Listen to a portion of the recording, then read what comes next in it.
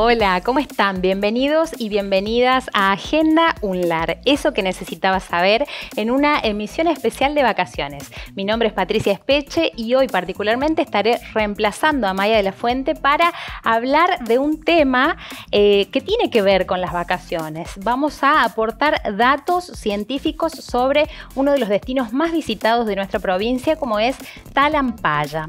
Eh, aproximadamente al año lo visitan 70.000 personas y fue declarado Patrimonio de la Humanidad por la UNESCO en el año 2000.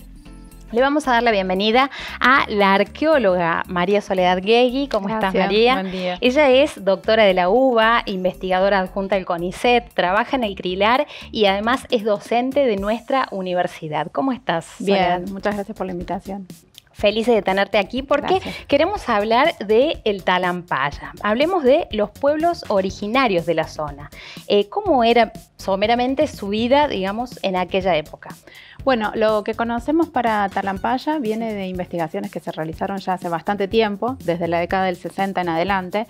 No tenemos muchas investigaciones actuales sobre el parque particularmente, pero sí lo que podemos decir son algunas características de las poblaciones que habitaron la zona, el norte de La Rioja, eran poblaciones agrícolas, que también dependían de la casa, de diferentes animales, vivían en habitaciones que pueden ser eh, construidas con piedra, la mayoría. Si han ido a diferentes sitios arqueológicos pueden verlas.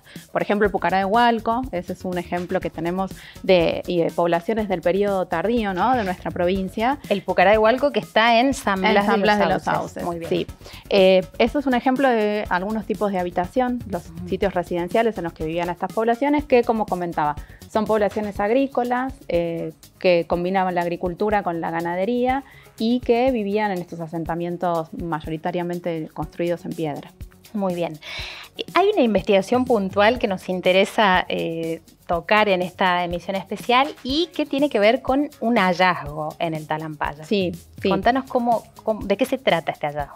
Bueno, el Parque Nacional Talampaya tiene eh, restos arqueológicos, es mayormente conocido por las pinturas rupestres y por los petroglifos, los que lo han visitado lo, pueden haber visto. Eh, sin embargo, hay también muchos hallazgos que se realizaron y eh, sobre todo realizados por una investigadora de la UNLAR, la licenciada Cielo Bonaldi, que trabajó en el parque, relevamiento de varios sectores y en uno de ellos eh, excavó varios eh, lugares y particularmente dos entierros. Eh, uno de ellos es de un hombre, un entierro masculino, y el otro es una mujer, un entierro femenino, que tenían la particularidad de estar en oquedades rocosas dentro ¿no? de, los grandes paredones rocosos que tiene Talampaya y eran entierros que habían sido acondicionados, tenían eh, una capa de sedimento eh, que era la, sobre donde estaban apoyados los cuerpos, una mm, esterilla que rodeaba a los cuerpos y uno de ellos tiene momificación natural, porque una de las características del lugar es su sequedad ¿no? y este entorno tan eh, benéfico para la conservación de materiales orgánicos.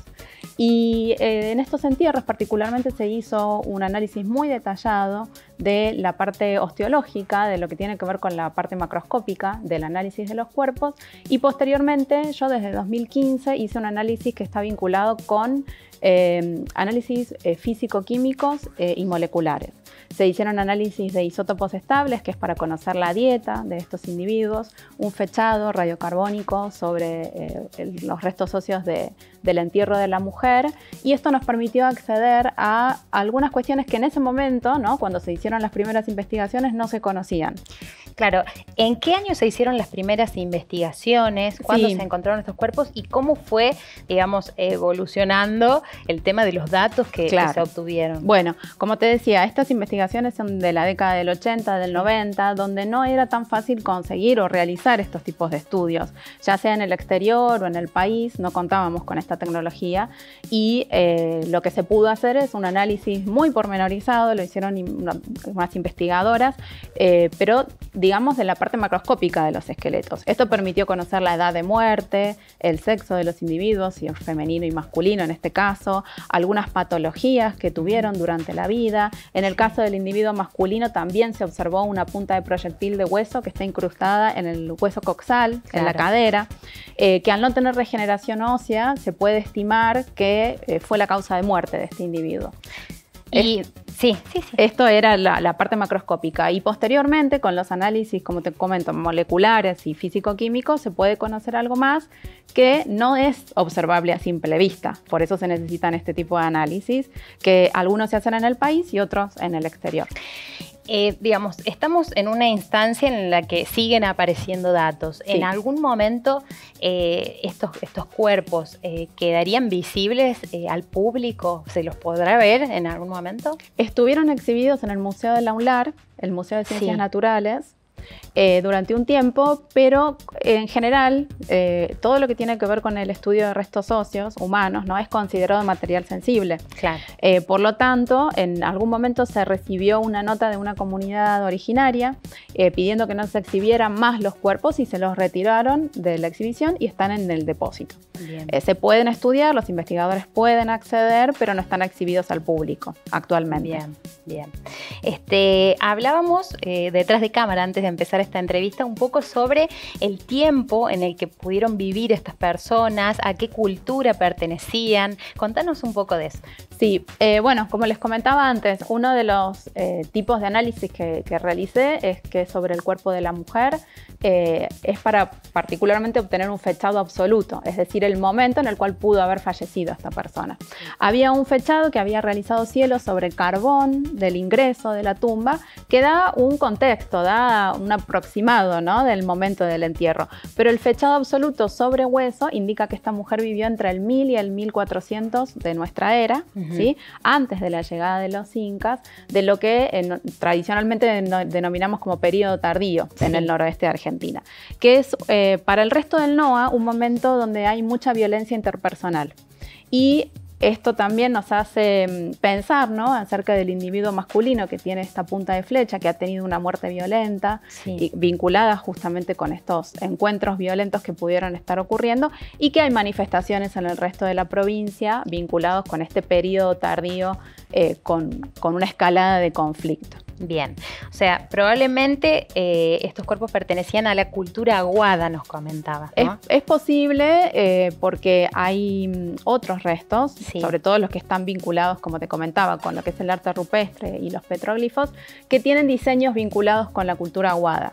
Entonces, por una asimilación o por el contexto, podemos decir que probablemente pertenecieron a esta sociedad que además tuvo una expansión muy grande en lo que es el norte y oeste de La Rioja. Es posible que hayan pertenecido a estos grupos. Bueno, cuando nos remontamos en la historia, nos vamos al año 1000, 1400, antes de la llegada de eh, los incas. Y este, después pasaron muchas cosas. Muchas cosas. Después llegaron, digamos, eh, los españoles.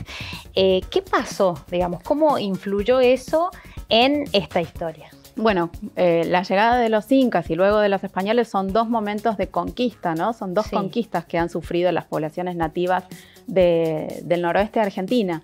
Y particularmente para lo que es la zona del norte de La Rioja, eh, lo, que se conoce es que hay un, hubo una desestructuración muy grande de estas sociedades.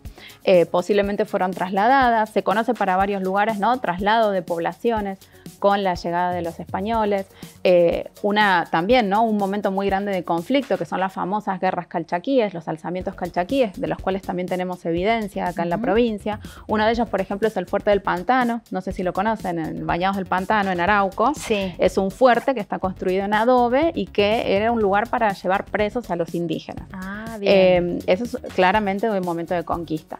Para esta zona no tenemos eh, investigaciones precisas para ese momento, pero sí lo que se conoce es que en, todo el noroeste de Argentina, la llegada de los españoles implicó una desestructuración muy grande con respecto al modo de vida de estas poblaciones.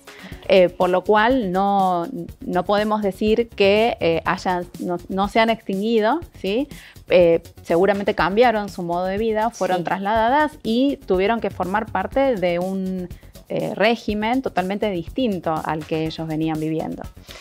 Es apasionante, la verdad, cuando uno empieza a indagar sobre de dónde venimos, porque también, eh, digamos, son nuestros ancestros, nuestros antepasados, tenemos mucha influencia este, cultural, digamos, de, estas eh, personas que habitaron este espacio eh, y la verdad se valora muchísimo el aporte de conocimiento que realizan, bueno, los y las investigadores que trabajan en campo, que, que realizan estos hallazgos, como la mencionábamos recién a eh, Cielo Bonaldi, ¿no? Exacto. Este, ¿Podrías contarnos algunos datos? Porque sabemos que trabajaste con ella, que, que, que conoces este, de primera mano toda la información de cómo se dieron estos hallazgos. Algunos datos que ella haya compartido este, con vos y que podamos contarle a la gente sobre ese Sí. trabajo puntualmente. Sí, eh, Cielo trabajó mucho en las investigaciones en Talampaya. De hecho, si se acercan al Museo del Launlar, van a ver Sí. que la colección que está exhibida tiene muchos objetos que son de, las eh, investigaciones que ella realizó en el parque. Y como les comentaba, tiene la particularidad de tener tan buena conservación Talampaya que van a poder ver objetos de madera, objetos en hueso, eh, objetos en, en cestería, en lana, que es algo muy inusual de ver ¿no? en las colecciones arqueológicas.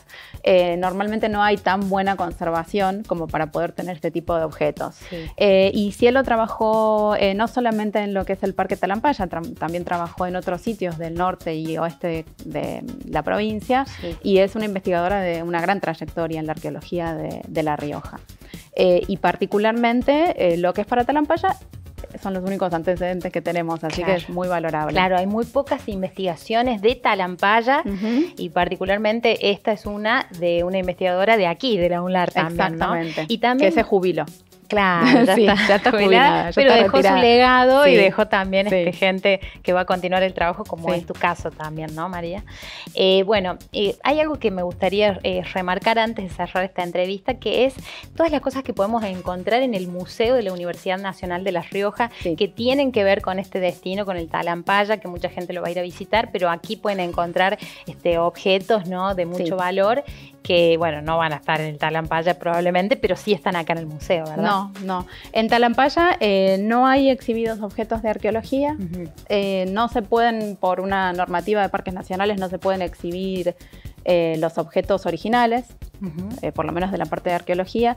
Sí, van a ver que hay mucho énfasis con el tema de los dinosaurios, sí. Sí. Eh, pero es muy interesante poder visitar la colección de arqueología del Museo del Aular porque justamente tiene todos estos objetos que no podemos ver en otro lugar. Claro. Bueno, están todos y todas invitadas entonces a eh, visitar el Museo de la Universidad Nacional de La Rioja, que a nivel turístico, aquí en la Ruta de los Dinosaurios, le Sí. contamos a la gente, es el punto número uno a visitar en el circuito, ¿no? El punto cero es el, El- paseo, el cultural, paseo cultural. ubicado en el centro de la ciudad y el punto número uno es nuestro museo, eh, bueno, de la Universidad Nacional de La Rioja. Así que muchísimas gracias, Bueno, María gracias Soledad, por esta, esta conversación, esta charla tan linda, Gracias. estos datos tan valiosos que has compartido con nosotros.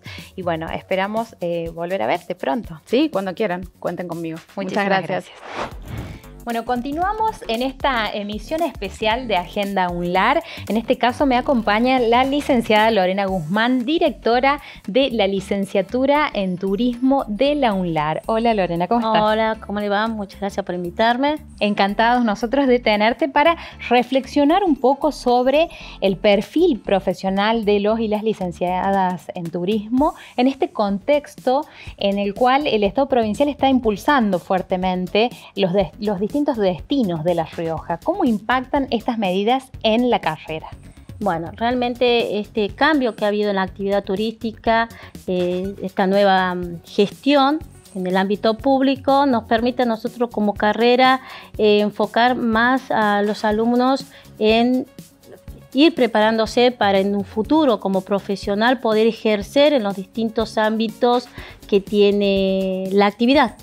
Eh, realmente el alumno, eh, bueno, en este caso el alumno, que se trata en una etapa de preparación para en un futuro no muy lejano ser ese profesional que necesita la actividad. ¿Se ve más movimiento turístico en los distintos eh, destinos de La Rioja? Sí, la pandemia ha llevado a que la actividad turística tenga como un nuevo surgimiento después de dos años de estar, digamos, paralizada. Así que sí, realmente eh, esta nueva gestión lleva a que haya un nuevo, una nueva organización, mucho trabajo de, de- de equipo y bueno, yo creo que este es- es un escenario muy importante para los profesionales. ¿Cómo impacta esto y si es que se está este, teniendo en cuenta desde la dirección de la carrera en el tema de las prácticas preprofesionales de los y las estudiantes? Bueno, nuestro, nuestra carrera como formación tiene en su estructura eh, las materias específicas de práctica preprofesionales.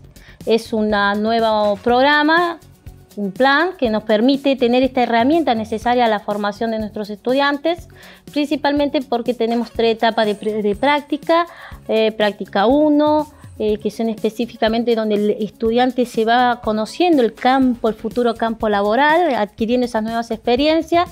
Em, una práctica 2 que hace específicamente enfoque en agencia, en hotelería y en asesoramiento, que es una de las principales eh, funciones que va a cumplir un, futuro licenciado en turismo, en asesorar y después una práctica 3 que nos permite que el alumno ya se, empiece a relacionar con el ámbito público, empezar a conocer ese ámbito público que va de una u otra manera a necesitar la formación del profesional.